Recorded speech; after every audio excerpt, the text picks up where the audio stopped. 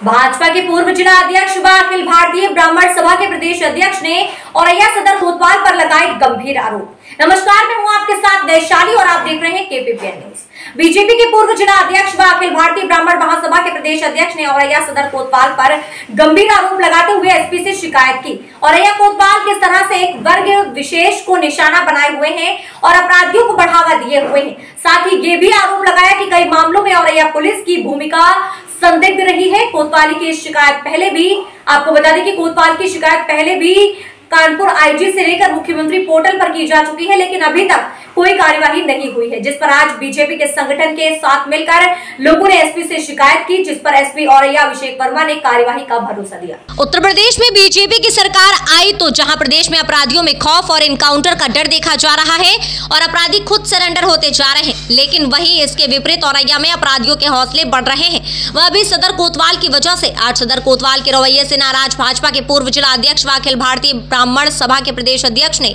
पीड़ित के साथ एसपी अभिषेक वर्मा से कोतवाल और औरैया रवि श्रीवास्तव की शिकायत की। बीजेपी के पूर्व जिला अध्यक्ष व अखिल भारतीय ब्राह्मण महासभा के अध्यक्ष ने कहा कि कोतवाल पीड़ित की शिकायत न सुनकर अपराधियों को बढ़ावा दे रहे हैं।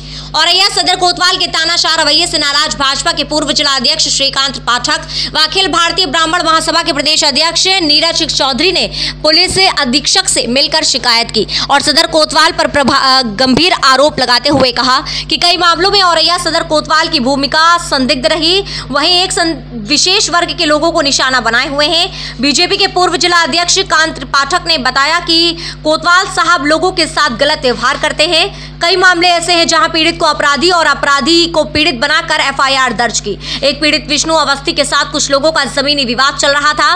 विष्णु के बेटे को बुरी तरह पीटा। जब पीड़ित थाने गया, तब उसकी एफआईआर नहीं लिखी गई। और जब विष्णु अवस्थी बेटे को ट्रीटमेंट कराने के बाद थाने पहुँचते हैं तो उनसे क्या कहा जाता है कि आप एफआईआर की कॉपी शाम को ले लेना। यही कोतवाली औरैया ने विपक्षी से दुरम्भिसंती करके उसको लाभ पहुँचाने की नियत से उसका मामला पहले दर्ज कर लिया तो प्रश्न उठना लाजमी भी है। यदि विपक्षी पीड़ित था तो कोतवाल औरैया ने विष्णु अवस्थी के प्रार्थना पत्र पर आने का इंतज़ार क्यों किया? और विपक्षी का मामला दर्ज क्यों नहीं किया? वजह कुछ भी रही हो विष्णु अवस्थी के प्रार्थना पत्र देने के बाद ही मामला दर्ज किया जाना सवाल तो खड़ा कर ही रहा है। वहीं दूसरे मामले में एक शख्स को बस ने टक्कर मार दी, जिसकी भी एफआईआर नहीं दर्ज की गई। इसके साथ ही कई मामले हैं जिनको लेकर कोतवाल औरैया की शिकायत आज एसपी साहब से की गई और ये भी कहा कि अगर ये यहाँ से कोतवाल पर कार्यवाही नहीं होती है तो हम ऊपर शिकायत करेंगे। वहीं दूसरी तरफ़ अखिल भारतीय ब्राह्मण महासभा के प्रदेश अध्यक्ष नीरज चौधरी ने भी कोतवाल रवि श्रीवास्तव पर गंभीर आरोप लगाए। उन्होंने बताया कोतवाल साहब के द्वारा एक वर्ग विशेष को शिकार बनाया जा रहा है और अपराधियों को संरक्षण दिए जाने के इशारे मिलते देख रहे हैं। इनके खिलाफ कोई कार्यवाही नहीं हो रही है, जिसको लेकर एसपी साहब से शिकायत की है जिससे नगर में कोई बड़ी घटना ना हो सके। कई ऐसे मामले हैं जहाँ औरैया कोतवाल मुकदमा दर्ज होने के बाद भी कार्यवाही नहीं करते। साथ में आए पीड़ित विष्णु अवस्थी का कहना है कि मेरे बेटे के साथ चौदह तारीख को घटना हुई, जिसमें मेरे बेटे को बुरी तरह से दबंगों ने पीटा, जिसकी शिकायत भी तत्काल कोतवाली में की, बेटे की हालत खराब होने की वजह से उसे सेफाई व पीजीआई भर्ती कराया गया, लेकिन उस दिन कोई कार्यवाही नहीं हुई।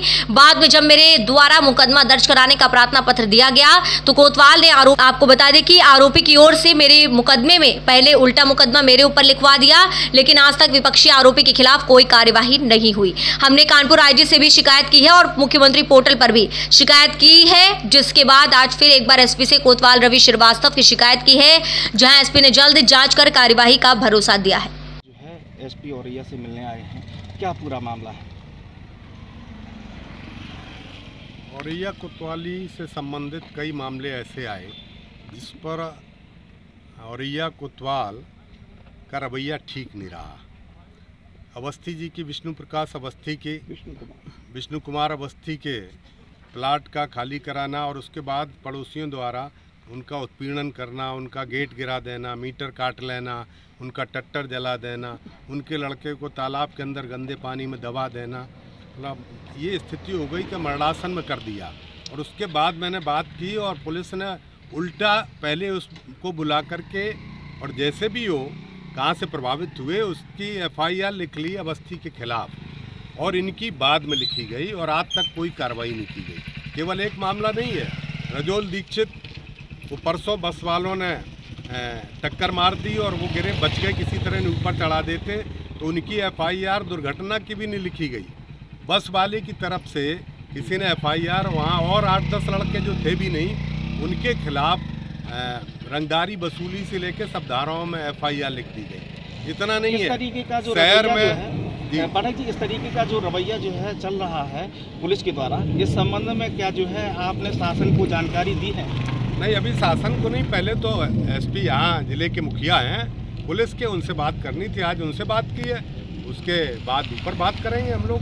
प्रदेश में भाजपा की सरकार है इसके बाद भी लगातार इस तरीके के मामले सामने आ रहे हैं इस पर आप क्या कहेंगे? उसी को ठीक करने के लिए हम लोग बात कर रहे हैं कि ये लोग जो निरंकुश अधिकारी हैं और इस तरह का भेदभाव करके औरैया में काम कर रहे हैं उनके विरुद्ध कार्रवाई होनी चाहिए उनको हटाया जाना चाहिए और हमारी सरकार पूरी तरह से निष्पक्ष रूप से काम कर रही है। कहीं गुंडागर्दी ना हो अपराधीकरण ना हो उसको रोक रही है। लेकिन यहाँ उसका लाभ उठा करके यहाँ के जो अपराधी तत्व हैं दड़ा सट्टा आईपीएल का वो सब चलाने वाले ऐसे तमाम लोगों के आधार पर सब काम होंगे ये नहीं होने दिया जाएगा कप्तान साहब से मिलने आए हैं क्या पूरा मामला? नगर में पिछले कुछ समय में कुछ ऐसी घटनाएँ हुई हैं जिसमें वर्ग विशेष के लोगों को निशाना बनाकर उनके साथ आपराधिक कृत्य किए गए और उनके द्वारा पुलिस में शिकायत करने पर भी अपराधियों को संरक्षण दिए जाने जैसी कुछ इशारे मिल रहे थे, उनके खिलाफ कोई कार्रवाई नहीं की जा रही थी, जिसके संबंध में आज हम लोगों ने पुलिस अधीक्षक महोदय के समक्ष प्रस्तुत होकर अपनी बात रखी है।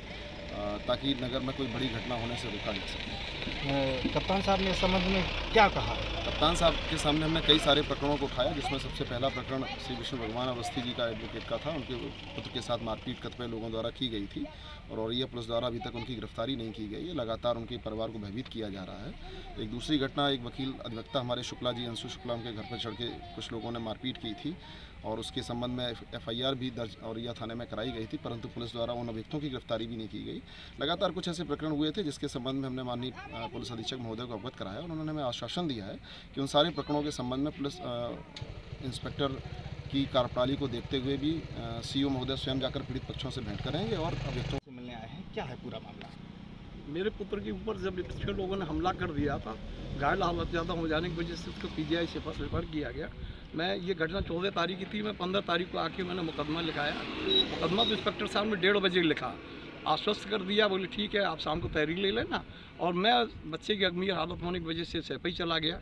मालूम हुआ कि उन्होंने मेरे बच्चे को बुला करके अनैतिकता का लाभ लेते हुए और उन्होंने बच्ची को मुकदमा सात उनतीस पर लिख दिया और मेरा मुकदमा आठ पच्चीस पर लिख दिया। घटना किस तारीख की थी? घटना चौदह तारीख की थी लेकिन कोई विपक्षी मुकदमा मुकदमा किस तारीख में लिखा गया? मुकदमा पंद्रह तारीख में लिखा गया। चौदह तारीख में इस संबंध में आपने जो है कोतवाल से बात नहीं की कि वो चौदह तारीख को जो है मुकदमा लिखवाने क्यों नहीं आया? यदि उसकी घटना जो सही थी। मैंने इस संदर्भ में कोतवाल साहब से कहा कि वो चौदह तारीख को अगर वो इंजोर्ड भी नहीं थे, उन्हें मुकदमा लिखाना चाहिए था। फिर मेरे आने के बाद में ऐसा क्यों हुआ? इसके संदर्भ मैंने मैंने माननीय मुख्यमंत्री जी को, इंस्पेक्टर की इस कार्रवाई के संदर्भ में, गलत कार्रवाई के संदर्भ में मैंने पोर्टल पर शिकायत दर्ज कराई। और मैंने आईजी महोदय कानपुर जोन को भी इंफॉर्मेशन स्पीड पोस्ट के द्वारा दोनों लोगों को दी। तो इसमें आप कप्तान साहब से क्या चाहते हैं कप्तान साहब से मैं ये चाहता हूँ कि अभियुक्तों की तत्काल गिरफ्तारी होनी चाहिए बल्कि गिरफ्तारी न होकर के पुलिस उनको संरक्षण दी है। उनका मनोबल इतना बढ़ गया वो आए दिन घेरते हैं मेरे बच्चों के ऊपर अटैक करने के लिए धमकियाँ देते हैं।